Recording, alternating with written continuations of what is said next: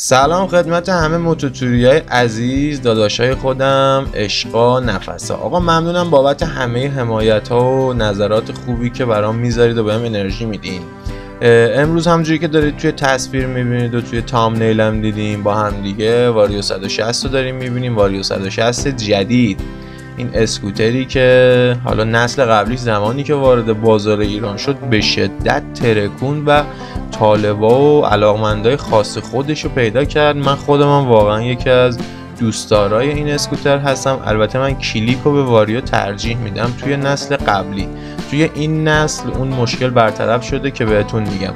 توی نسل قبلی واریو کلیک واریو یه مقدار یه هلوش 4 5 درصد از نظر حالا اون material ه یه ذره ضعیفتر می‌زد. ولی الان خدا رو شکر این مشکل برطرف شده و اولا واریو وارد بازار ایران شد بعد کلیک. سیستم ترمز این اسکوتر هم همونجوری که دارید می‌بینید روی چرخ جلو ما ABS رو داریم. روی چرخ عقب دیسک و تکنولوژی روش نیست.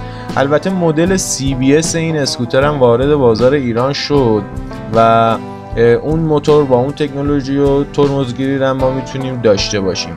از نظر ظاهری تفاوت ها خیلی با نسل قبل هست و من یه جورایی موقعی که معرفی شدم بهش نقد داشتم و به نظر من خیلی از بخشش الگو گرفته از یاماها ایروکس.